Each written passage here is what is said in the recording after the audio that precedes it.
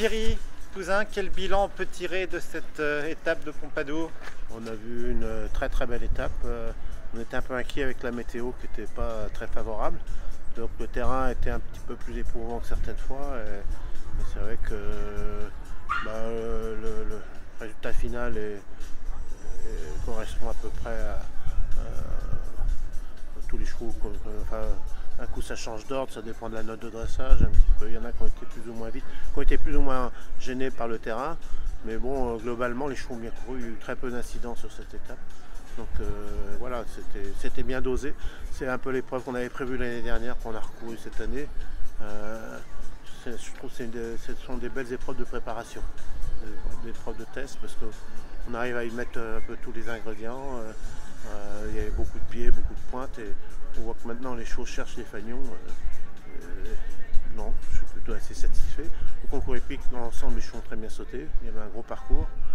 Euh, il nous reste encore et toujours des, des petits points à gagner sur le plat. quoi.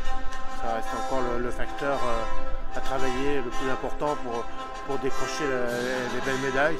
Parce que je pense que cross concours, dans l'ensemble, on a, on a un lot assez homogène de, de cavaliers et de chevaux.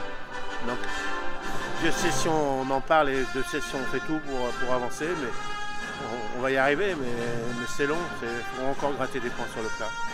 Ceux qui vont partir à badminton ont bien couru.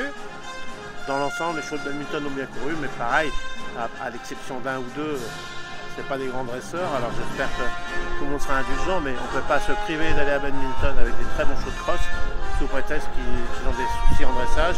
D'ailleurs, pour certains, ne parlerai pas de direct parce qu'il a un très bon niveau de dressage, mais euh, c'est vrai que les chevaux de Luc, par exemple, sont des chevaux vraiment extraordinaires pour faire le cross.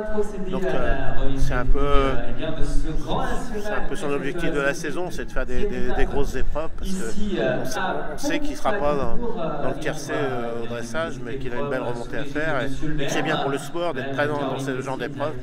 Voilà. Il y a aussi Chatsworth cette année. Est-ce que tu commences à avoir une idée des couples qui vont y aller? En général, euh, on va y mettre pas mal de chevaux. Enfin, pas en général. euh, je- J'espère qu'on va y mettre euh, pas mal de choses. J'attends de faire un peu de débriefing avec tous les cavaliers, mais oui, il y aura pas mal de, de, de- de chevaux du groupe 1 qui seront présents à Chatsworth.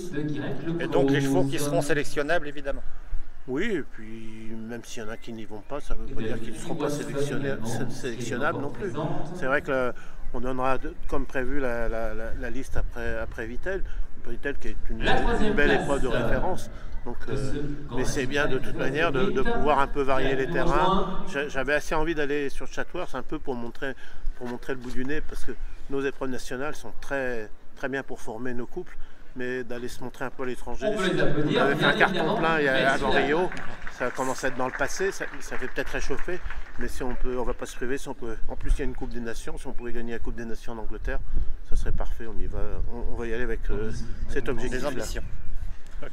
Il y avait, si j'ai bien compris, d'autres euh, cavaliers qui espéraient aller à badminton. Je pense notamment à C. Nicolas, je pense notamment à, à Nicolas Touzin. euh, Bah, Astier, non, c'était pas trop dans ses projets. Il, il économise son cheval et, il a choisi, on a discuté une stratégie où il veut marcher à l'économie. Il a trouvé qu'on avait un peu défraîchi le cheval l'année dernière.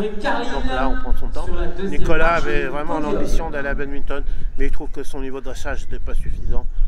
Il n'allait pas, lui, justement, pour faire une belle remontée. Il aurait voulu participer. Donc, on a préféré le qualifier alors qu'il avait déclaré à son mur qu'il avait des ambitions, mais il ne le sentait pas suffisamment prêt pour, pour, pour- pour performer dans les 10 premiers de dressage. Et Auquel cas, c'est vrai que de faire un beau podium, euh, c'est- il n'y a que ça qui l'amusait. Si c'est pour repartir de la 50e place, même s'il fait la plus belle remontée, ce n'était pas son objectif.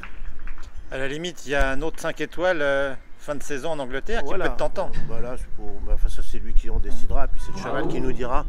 Et on va Ça va nous permettre encore de eh tester sur le plat, en espérant que la stabilité qu'il avait la semaine dernière en Hollande va, se renouveler, parce que c'est un très très bon cheval d'équipe, il l'a prouvé à maintes reprises, notamment à, Tokyo. Mais c'est vrai qu'il ne faudrait pas qu'il rebouge la tête comme l'an dernier. L'année dernière, on a été euh, surpris, saisi, euh, National. Euh, on n'a pas envie de rééditer la même chose cette année, donc on, on le regarde de très près en espérant qu'on croise les doigts que ça pourra aller pour lui. Ok, bon, on croise les doigts aussi. Voilà. Merci beaucoup Thierry. Ça vous va